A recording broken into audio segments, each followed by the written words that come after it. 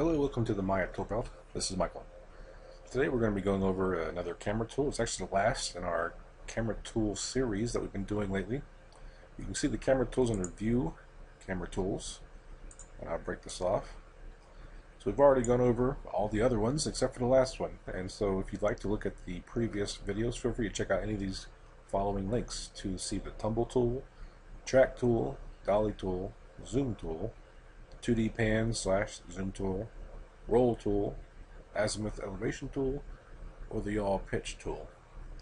Those all had settings associated with them, so those videos were a bit more involved for the most part than the fly tool will be, since the fly tool literally has no settings, it's just the fly tool. If I click it, and then I close the camera tools window here, you see my cursor changes to this kind of multi-arrow going in three different directions.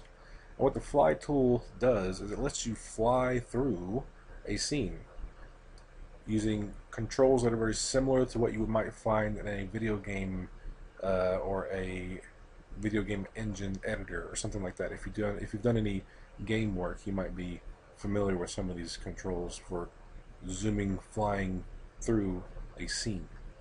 I don't really have a scene here, so let me really quickly before I get into it, let me just make some objects to fly through.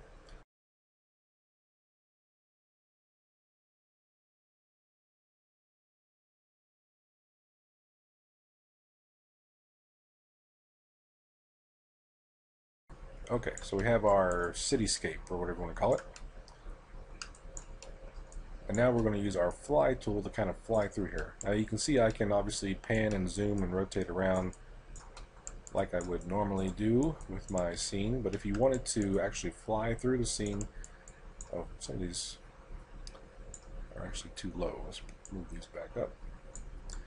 So if you wanted to fly through the scene like a helicopter or something, you can do that with the fly tool. So you go to view, camera tools, fly tool. So by click and drag, I change my camera angle, hold control, click and drag, and I zoom forward. So let go of control, change my camera angle, zoom forward or zoom backwards, change camera angle, and zoom forwards. Again, I'm holding control to go forward and back, letting go to change my camera angle. Kind of sensitive on my machine. You might need to adjust your mouse sensitivity in general if it's a little too fast for you. So yeah, just holding control, letting go to change my angle, hold control to move forward again or go backwards. So again, holding control to move forward and back, letting go to just change the angle. And that is the fly tool. Again, holding control, you can also move kind of side to side. So hold control left and right, forward and back, side to side, like so. Let go, change angle, hold control again. So yeah, the fly tool.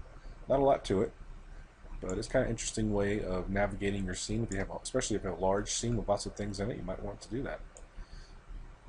So this has been the Fly tool. This is the end of our camera tools series. Hope you enjoyed going through all these. The View camera tools, all these tools here. Uh, feel free to offer suggestions or requests from things you'd like me to go over next or in the future. Uh, thanks again for watching, and I will talk to all you guys later.